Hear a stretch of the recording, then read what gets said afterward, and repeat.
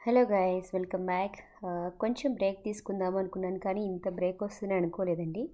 Almost one and half year అయింది నేను ఒక వ్లాగ్ పోస్ట్ చేసి.